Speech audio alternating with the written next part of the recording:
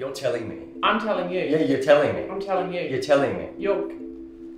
You lo- lost for you're- words. I'm lost for words. You're lost for words. lost for words. You're lost for Well, words. you're lost slapping. for words. I'm slapping you. You're slapping I'm slapping you. You're slapping me. I'm slapping You're you. slapping me. I'm slapping You're slapping me. I'm slapping you. You're slapping me. You're a bit of gas. Oh, you're telling me. I'm telling you. You're telling me. I'm telling you. You're telling me. I'm telling you. You're telling Are you getting up? I'm getting up. Are you not getting up?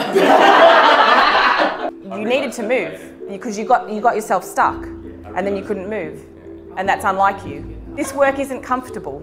Quite often we get that thing where people say, oh, you're intense. It should always feel intense. Mm. It does fly in the face of every other technique because every other technique is about yourself and how you're going to get to where you need to go or get from the other person. Yeah. We don't work with objectives.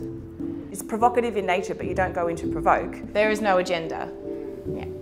There's nothing feels worse than being agendaed at by another actor. Yes, because you can tell. yeah, it feels icky. Yeah. Yeah.